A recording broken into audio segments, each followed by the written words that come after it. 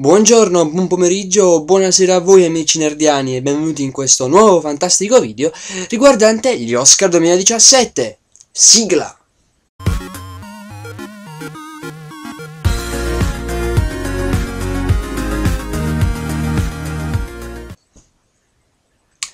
In questo video non parleremo dei singoli film, anche perché sono così tanti film nominati agli Oscar ogni anno che per parlarne nei dettagli ci vorrebbe almeno un, un film a sé stante di 8 ore, lungo praticamente quanto il documentario su O.J. Simpson. Ma oggi approfondiremo alcuni aspetti della cerimonia. Innanzitutto, Uh, questa cerimonia è stata presentata da Jimmy Kimmel, un presentatore americano noto per il suo show che si è dovuto misurare con uno spettacolo non difficile da condurre, ma che è riuscito a farlo con una giusta comicità e uno stile tutto suo.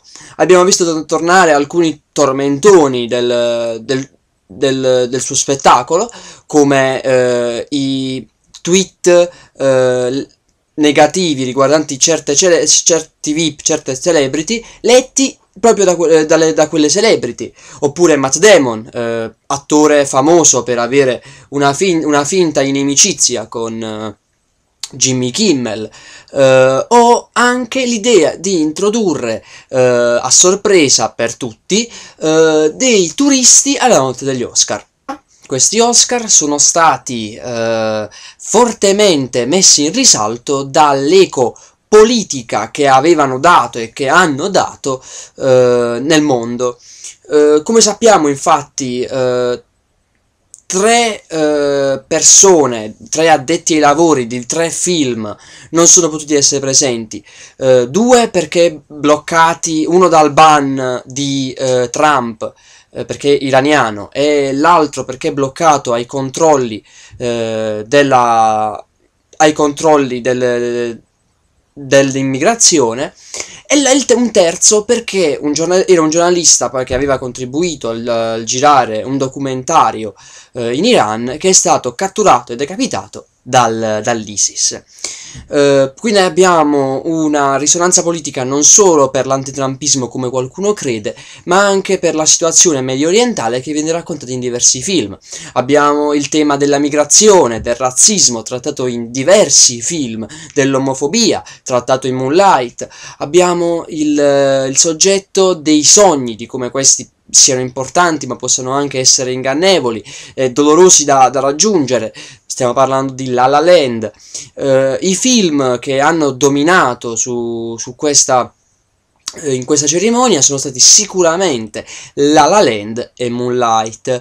Passerà alla storia con una nota di ridicolo, eh, ma anche con qualcosa di epico, l'errore fatto da non da Walt Beat in realtà quanto dall'organizzazione degli Oscar nella consegna del premio per il miglior film. Le uniche altre macchie dell'organizzazione in questa cerimonia è l'incredibile fretta che è stata messa ad alcuni premiati rispetto ad altri. Molti non sono riusciti neanche a ringraziare perché la, venivano coperti dall'orchestra che, come si sa, in una regola che forse non è scritta ma è molto più che nota, eh, quando un discorso si allunga troppo comincia a suonare perché lì c'è una tempistica da rispettare, quindi non è permesso a nessuno di monopolizzare il palco. E ok, questo va bene quando magari c'è una persona che si sta prendendo troppo spazio, ma se ci sono tre persone e solo una ha ringraziato, non vedo perché l'orchestra deve suonare per forza, o perché tu devi addirittura mandare qualcuno sul palco che allontana il vincitore dal microfono è una, brutta, è una bruttissima scena da vedere. Uh, questi orchi sono stati divertenti ma anche malinconici al punto giusto. Abbiamo visto uh, attori come Charlize Theron e uh, Seth Roger presentare dei premi insieme agli attori che dicono, aver, che dicono essere stati le loro ispirazioni. Uh, abbiamo visto quindi anche uh, questa cosa poi capovolta ironicamente da Jimmy Kimmel, appunto parlando però uh, di Matt Damon. Abbiamo, abbiamo, potuto vedere anche il bellissimo angolo in memoriam dove si ricordano tutti gli attori scomparsi nel, nell'ultimo anno e che è una parte fondamentale di tutte le cerimonie degli Oscar abbiamo potuto eh, sentire anche dei discorsi di ringraziamento eh, molto, molto sentiti, abbiamo potuto vedere anche delle scene che sono strane ma che fanno parte di qualsiasi premio, a parte quella dell'errore di, di busta di La La Land, che capita, cioè è capitato a Miss Universo, e ci hanno fatto 24.000 meme su internet, ehm, è successo anche che eh, non ha vinto come miglior attore protagonista eh, Denzel Washington, perché è così sorprendente? Ebbene, ehm, tra i tanti riti, diciamo così, eh, non ufficiali, c'è chi ha, vince il premio Oscar come miglior attore non protagoni- eh, come miglior attore protagonista, l'attore che ha vinto anche il premio per eh, il, il, il GGA Awards, ovvero i premi dati dalla Gilda degli attori. E in quest'anno appunto aveva vinto eh, Denzel Washington, ma alla alla premiazione degli Oscar, il vincitore del premio come miglior attore protagonista è stato Casey Affleck per, uh, per Manchester by the Sea. Uh, ancora, Moonlight vince il premio Oscar come miglior film, avendo perso nella stessa categoria in tutti gli altri premi. È la prima volta che succede. È stata una cerimonia degli Oscar unica nel suo genere sotto molti punti di vista. Abbiamo visto una, una, un Hollywood che non si arrende alla...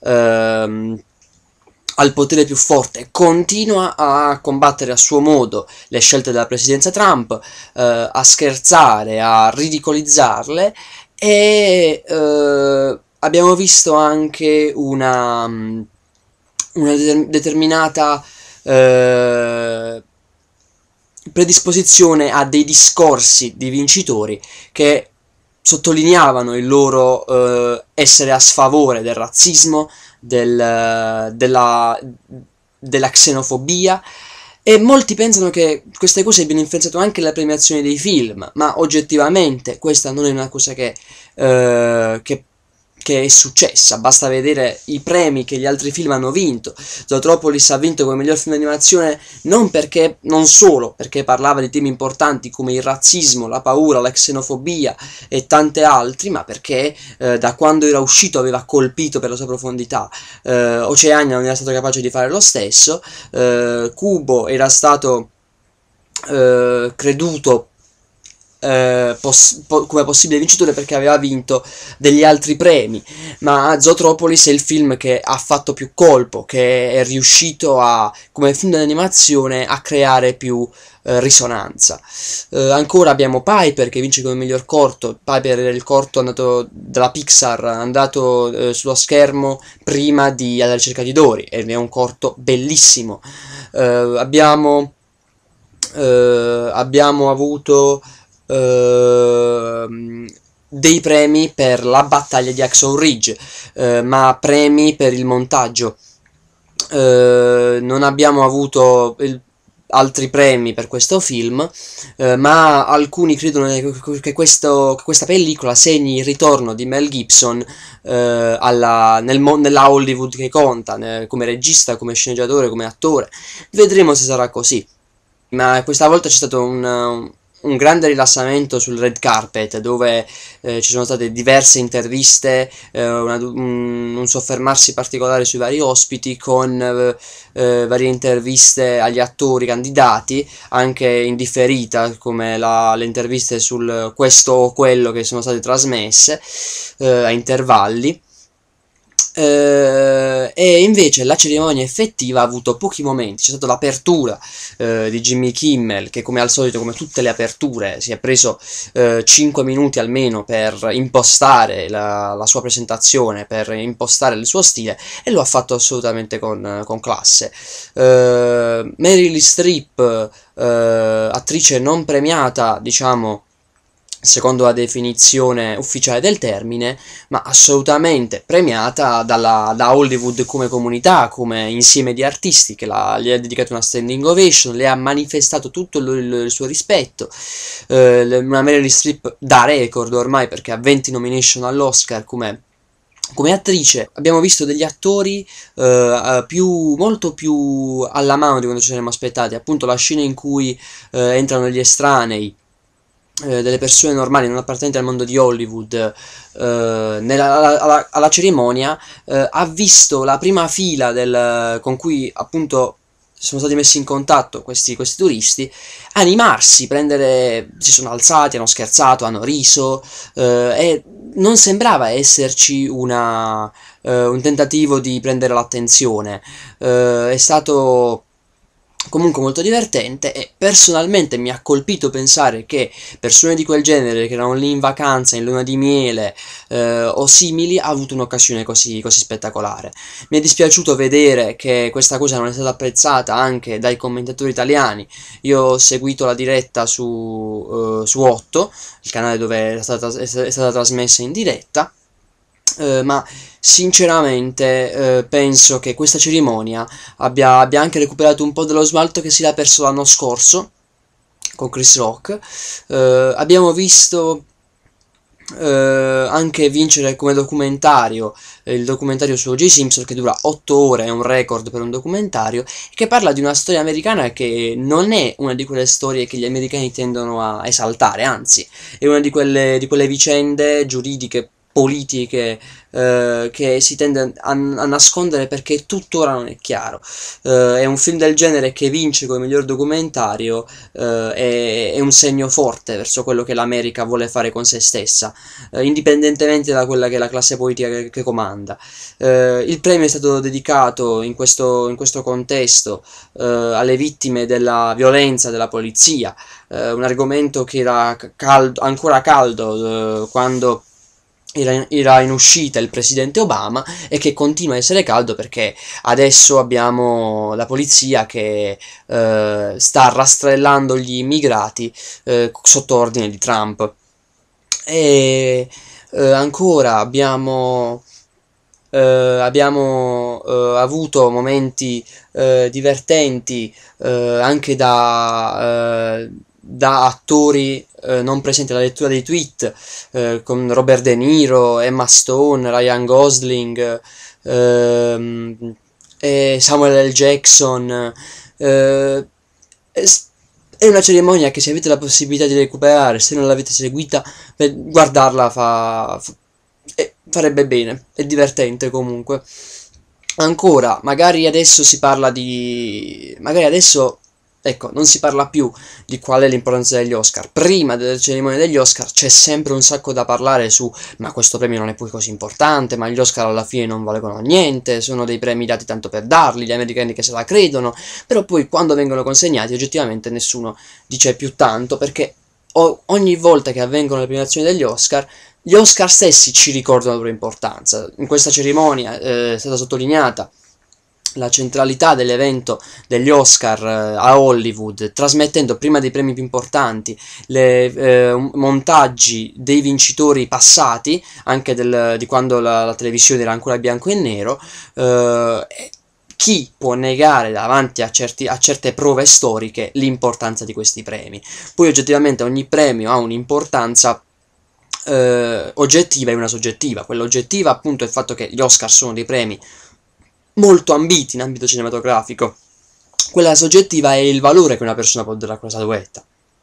Il valore che per esempio eh, gli dà un... Um, gli dà un, un, Leonardo DiCaprio alla sua prima vittoria dopo tante sconfitte è diversa da quella che invece può dargli eh, può, può, dargli un um, così su due piedi eh, può dargli a una Meryl Streep che effettivamente ha vinto tanti Oscar e quest'anno era candidata per una parte più comedy eh, che era forse l'unica che effettivamente non aveva tante possibilità di vincere questo premio.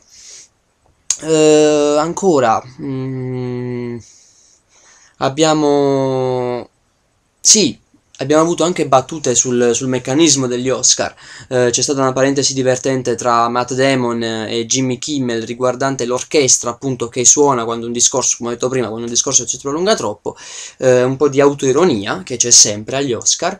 Eh, c'è stato anche un ricordare le polemiche degli anni passati, le polemiche della Hollywood razzista, eh, riguardante appunto la mancanza di nomination a attori, registi e artisti appunto di colore Signore, eh, che quest'anno è stata capovolta perché abbiamo visto la, la rimonta del, per così dire, della parte eh, afroamericana di Hollywood, eh, con Viola Davis che vince miglior attrice non protagonista, eh, la, mh, mm, abbiamo...